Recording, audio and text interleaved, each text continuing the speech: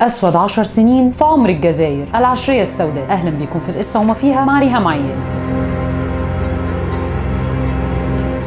أنا عارفة إن الحلقة دي صعبة جدا ومش بس على إخواننا الجزائريين لا علينا كلنا كعرب. عشر سنين عاشتها الجزائر في بحور دم لا تنتهي. مجازر لا تخطر على قلب بشر ولا حتى تطلع من بشر. حلقة كلها ألم ووجع. ما هو صعب جدا لما يبقى أولاد البلد الواحدة هم اللي بيضربوا ويقطعوا في بعض. والحرب الأهلية في الجزائر تاخد الأوسكار في الحكاية دي. ما تيجوا نشوف. صلوا على النبي.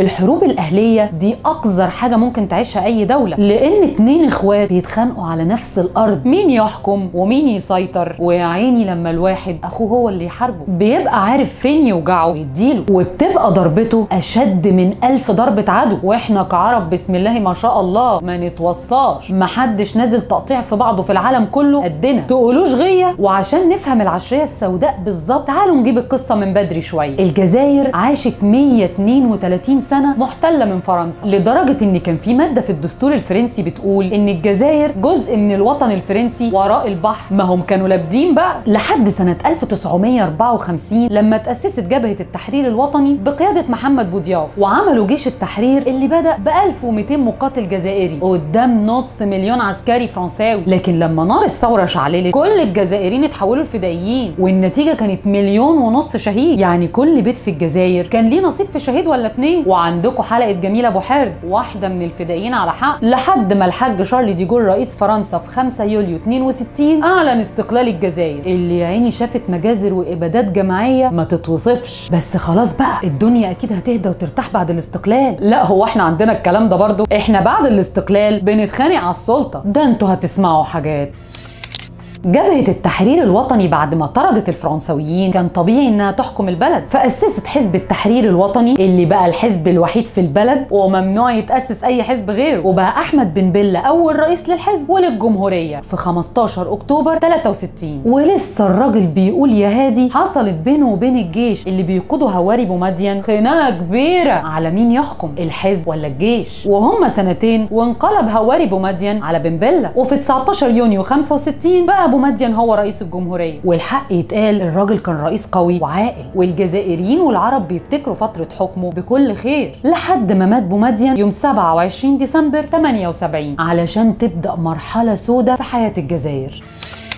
الجزائر من البلاد اللي مش منطقي ابدا إنها تكون فقيرة. بلد مساحتها 2 مليون و380 ألف كيلو متر مربع. يعني قد مصر مرتين وربع. دي قد إنجلترا 18 مرة. وعدد سكانها وقتها كان حاجة و20 مليون. ده غير إنها مليانة خير. ثروات زراعية وبترولية جبارة. ومع ذلك كان في فقر وبطالة وأزمات اقتصادية. الصراحة نظام الاشتراكية والتأمين في السبعينات ما جابوش همهم خالص. فلما المجلس العسكري جاب الرئيس الشاذلي بن جديد في فبراير 79 كانت الدنيا خربانة على الآخر والمصايب السوداء كانت مستنياه على باب القصر. اقتصاد واقع وثورة إسلامية في إيران وانقسامات جوه البلد وليلة كبيرة معليه فالراجل أول حاجة عملها إنه قال لك معلش الغي الاشتراكية اللي جابتنا ورا دي ويلا بينا على الرأسمالية والخصخصة. وماله يا أخويا مش عيب المهم نعد الدينارات. لا معلش بقى مش هتلحقوا أصل بن جديد جه من هنا وقامت الثورة الإسلامية في إيران من هنا وايه علاقة الثورة الإيرانية وأنكل خميني بالجزائر. لا ما هي الحدوتة كلها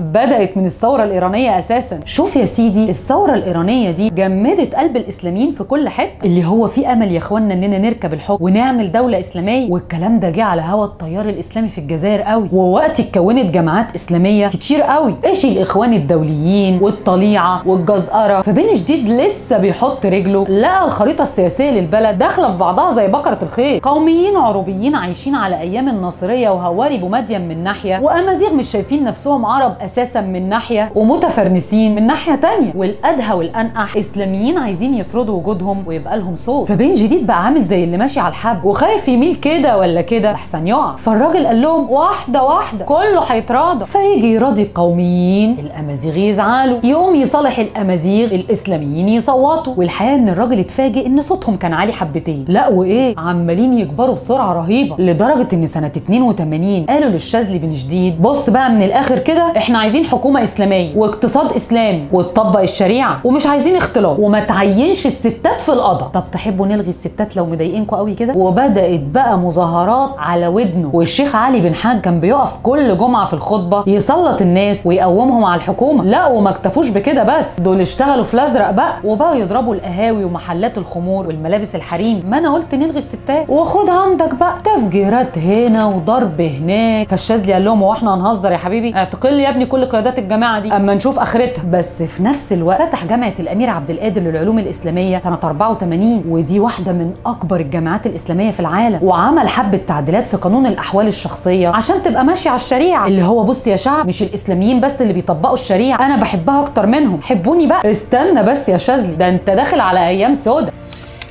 سنة 86 حصل انهيار مفاجئ في سعر البترول والبرميل نزل من 30 دولار ل 10 دولار كارثة. والجزائر أصلا معتمدة على البترول فالاقتصاد بتاعها أخد حتة هدر والحكاية ما كانتش ناقصة والناس جايبة آخرها. لا وكمان ما حدش قادر يفتح بقه ولا يقول بم الصحافة متراقبة والأحزاب ممنوعة والحديد والنار هم اللغة الرسمية للدولة. لحد ما الناس فاض بيها في أكتوبر 88 وقامت انتفاضة أكتوبر أو أكتوبر الأسود. الموضوع بدأ بشوية إضرابات هنا وهناك بس هم ساعات وتحولت لانتفاضة في البلد كلها. وسيبك من كل الإضرابات والمظاهرات والسكك اللي اتقطعت والمصالح اللي اتحرقت كل ده مش فارق مع الحكومة. ما الشعب هو اللي هيسدد آه ما إحنا لما بنحرق الحاجات دي إحنا اللي بندفعها تاني. لكن المشكلة هنا إن الإسلاميين عايزين ينطوا على المظاهرات وياخدوا اللقطة. يمكن لو لفقت والثورة نجحت يمسكوا الحكم. الله دي عادة بقى. فالشاذلي قال لك لا يا حبيبي انت وهو. ده عشم إبليس في الجنة. وراح جايب الجنرال خالد نزار وقال له لملي بقى الليلة دي كده. وراح جاي خالد باشا وقال لهم مساء الخير يا شعب إحنا هنعمل حظر تجوال واللي هلمحه همرجحه واتخمدت الانتفاضه قبل ما تتحول لثورة واتقتل في الليلة دي 500 جزائري و3500 مصاب غلابة الجزائريين أقسم بالله. الشاذلي بقى لعبها بالصياعة وقال لهم يا شعب اوعى تكون زعلت. ده أنا هعمل لكم شوية اصلاحات ديمقراطية. عنب. بص بص الحركة دي. حرية إنشاء الأحزاب. لا وبص بص اللقطة دي. انتخابات برلمانية نزيهه يلا إن شاء الله ما عن حد حوش. والراجل رمى الكلمتين دول من هنا وهم يومين. وكان متأسس أكتر من 60 حزب. يلا حرية بقى. وجات لي الاسلاميين على الطبطاب وفي نوفمبر 89 أسسوا حزب الجبهة الإسلامية للإنقاذ بقيادة عباس مدني وعلي بالحاج. والحزب إيه؟ كبر بسرعة جدا وتوغل وانتشر وهتفهموا ليه كمان شوية. وجت بقى الانتخابات البرلمانية النزيهة سنة 91 وكل واحد بقى يعرض برنامجه على الشعب. فاليساريين قعدوا يتكلموا عن الحريات والحقوق المدنية والقوميين فضلوا يتكلموا عن التقل الدولي والإقليمي للجزائر. الإسلاميين بقى قال لك فكك بقى من كل الكلام المحفلط ده وانزل لي يا باشا على القرى والحواري والمحافظات ووزع لي بقى الزيت والسكر وشبرق الناس دي. وهو الفقير محتاج إيه غير لقمة تسد جوعه؟ وكلمة تطمنه إنه داخل الجنه وفي وقت قصير جدا سيطرت جبهة الإنقاذ على الشارع. فالحكومة قالت لك يا حلاوة ده كده الإسلاميين هيشكلوا البرلمان وهيطلعوا القوانين على مزاجهم. يعني لو قالوا الصبح الجزائر إسلامية الموضوع هيعدي قانوني. لا بقى إحنا نغير قوانين الانتخابات ونضيقها عليهم شوية. فالإسلاميين قال لك بقى كده طب اضراب عام. الحكومة قالت لهم ومال جيت لي في ملعب اقبض لي بقى على عباس مدني وبالحاج لحد ما تخلص انتخابات المنيلة دي. كان يوم أسود يوم ما قلنا إنها نزيهه عارفين بقى الجبهة اللي كانوا بيضيقوا عليها عشان ما تكوش على البرلمان؟ خدت في الجولة الأولى 60% من المقاعد. اكتساح. طب والحكومة؟ لا دول أخدوا كرسي في الكلوب 15 مقعد. والله ما عرفت حتى أحسب نسبتها المئوية. فالجيش قال لك يا لهوتي البلد بتضيع مننا يا جدعان. ده مش بعيد فرنسا تحتلنا تاني. وتقول أصل أنتوا كده بقيتوا مصدر قلق. الانتخابات دي لازم تقف. وجري خالد نزار على الشاذلي وقال له الجيش بيقول لك الغي الانتخابات دي. الراجل قال له لا ما أقدرش. أنا وعدت الشعب بالديمقراطية. ولا يمكن أرجع في كلمتي ابدا. قال له آه ديمقراطية. طب ريح أنت. وأقلوه حطوه تحت الإقامة الجبرية في مدينة وهران. بقول لك البلد هتولع. تقول لي ديمقراطية. طب في الظروف المهببة دي تجيب مين يا جيش؟ يمسك البلد ويكون الشعب بيحبه. هو مفيش غيره. محمد بوضياف. راجل ثوري قديم وطرد المحتل وجه بوضياف في أول 92 وقال لك من النهارده لا فيه راحة ولا بالراحة. والانتخابات اللي هتجيب لنا الإسلاميين دي اتلغت خلاص. لا خدوا التقيلة بقى. مفيش حاجة اسمها حزب الجبهة الإسلامي. لغينا رخصته. واعتقل لي بقى كل اعضائها اللي كسبوا في الانتخابات. وقال بص يا شعب يا حبيبي من أيام الاحتلال لو الاسلاميين وصلوا للحكم مش هيعملوا انتخابات تاني ومش هتشوفوا الديمقراطية دي بعينيكوا ابدا. وهنبقى أفغانستان نمبر 2 يرضيك بس يا سيدي. وبدأت أسود 10 سنين في تاريخ الجزائر. مستعدين؟ الجبهة الإسلامية اعتبرت إن الجيش كده أعلن الحرب عليها ودي بقى حتتهم. هتعلنوا الحرب هنعلن الحرب. أنت جيت في جمل يعني. استلقى وعدك بقى يا حلو. وعد الجثث علشان تبدأ الحرب الأهلية الجزائرية أو العشرية السوداء في مارس 92 وبدأوها بقتل ست ضباط شرطة. أبو ضياف قال لهم بقى كده يعني؟ طيب مبدئيا الحوار الوطني اللي كنت ناوي أعمله معاكم اتلغى لأننا ما بنتفاوضش مع ناس شايلة سلاح. وآه القادة بتوعكم عباس مدني وعلي بالحاج ودعوهم عشان هيوحشوك اتحولوا جنايات أقول لكم على حاجة بقى؟ أنتوا من النهارده جماعة إرهابية. فالجماعة قالت له ماله؟ يا أهلا بالمعارك واتلمت بقى الجماعات الإسلامية المسلحة كلها على بعض وعملوا رباطية مع بعض وطلعوا على الجبل في الشمال وأسسوا الجيش الإسلامي للإنقاذ. وفين يوجعك بقى؟ ضرب في الجيش والشرطة ملوش آخر. والحقيقة هم ما قتلوش في الجيش والشرطة بس لا. هم قتلوا محمد بضياف نفسه. الريس؟ آه الريس. وعيني عينك كده قدام الكاميرات. حاجة كده شبه قتل السادات بالظبط. الراجل قاعد على الهوا بيقول خطبه في التلفزيون يوم 29 يونيو 92 راحت منفجرة قنبلة في المنصة وبعدين راح جاي الحارس الشخصي بتاعه مبارك بومعريفي اللي كان مغسول مخه من الجماعات الإسلامية وراح مفرغ رشاشه كله في بضياف مفيش creativity بربع جنيه. بس برضه عشان ما بقاش خبيت عليكم حاجة ناصر ابن محمد بوضياف قال إن اللي قتل أبوه هو الجيش بسبب التطهير اللي عملوا فيه وكده. والله أعلم. جه بقى بعد بوضياف الرئيس علي كافي. والحرب إيه؟ كانت مولعة. بس هي برضه بين الجماعات المسلحة والجيش والشرطة. يعني كلهم شايلين سلاح ويعرفوا يصطفوا مع بعض. والحمد لله المدنيين بره اللعبة دي عركة سياسية اللي فوق يخلصوها سوا لحد يوم 26 أغسطس 92 لما اتضرب مطار الجزائر. إيه يا جبهه الإنقاذ. بتقتلوا المدنيين ليه؟ إحنا ما اتفقناش على كده. قال لك والنعمة يا باشا ما لينا أي علاقة بالموضوع ده نهائي؟ الله. أمال مين اللي عمل كده؟ وهنا بقى تلاقي الجماعة الإسلامية المسلحة راحت رافعة إيديها. أنا يا حبيبي حد ليه شوق في حاجة؟ ولا أنتوا لسه شفتوا حاجة؟ ده اللي جاي ظلام.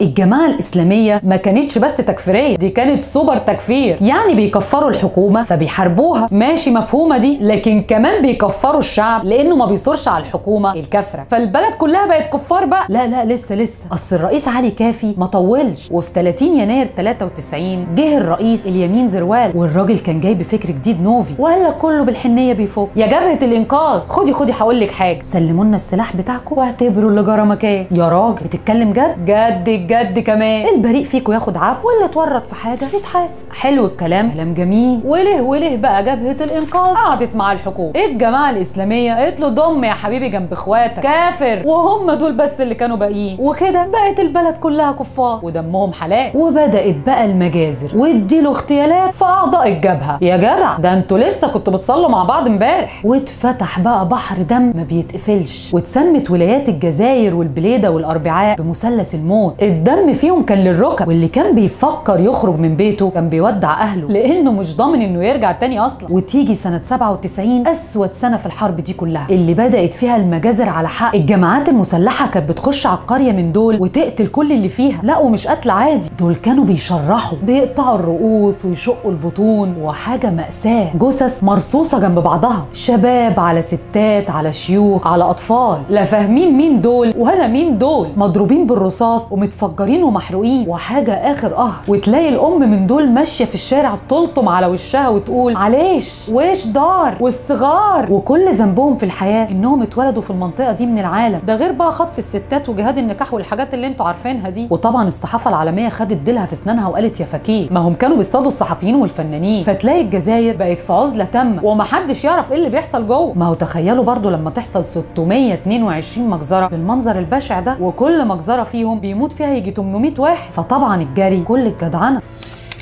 طبعا في ناس هتقول لي دلوقتي طب على فكرة بقى الجيش هو اللي كان ورا المجازر دي كلها والجماعة الإسلامية نفسها اتهمته بكده. ما أنا كنت فاكرة زيك كده لحد ما لقيت لقاء نادر مع علي بن هاجر قائد الجماعة الإسلامية نفسه. والراجل كان حقاني وقال بمنتهى الصراحة إن الجماعة صبت غلها كله على المدنيين وعملت مجازر كتير. وكده يبقى شهد شاهد من أهلها. ونرجع بقى للناس اللي عمالة تتقطع وتموت دي. وقالوا للجيش أنت فين؟ الحقنا. قال لهم أنا جاي أهو. وعمل حملة معتبرة على الجماعة وقتل كتير كتير منهم. لا وكمان طلع على الجبل واتفاوض مع مدني مزراق قائد الجيش الإسلامي نفسه. وقال له لا نهدى كده بقى شوية الدنيا خربت. والراجل قال له أنت صح يلا هدنه بس ده كان ليه بقى؟ لأن الجماعة حصل فيها تفكك كبير وأعضاء كتير منها زي ما تقولوا بقايا ضميرهم صحي. لا والله صح النوم وقال لك إيه اللي إحنا بنهببه ده؟ يعني إحنا المفروض كده هنوصل للحكم ونطبق الشريعة على بحر الدم ده كله؟ تصور ما تجيش برضه. فاتمردوا على أمير الجماعة عنتر زباري وسلموا سلاحهم للحكومة. يا مسهل الحال الدنيا بدات تهدى اهي لا وهديت أكتر. لما وصل الرئيس عبد العزيز بوتفليقه للحكم في إبريل 99 والراجل أول ما جه قال لجبهه الإنقاذ يلا نعمل سلام رسمي. قالوا له يلا. وسلموا سلاحهم كله. وطلع بوتفليقه قانون الوئام المدني بعد ما أخذ موافقة شعبه عليه. وقال لهم أي حد عايز يسلم سلاحه وياخد عفو يا مرحب بيه. وعفى الله عما سلف. كله بقى طلع جري يسلم سلاح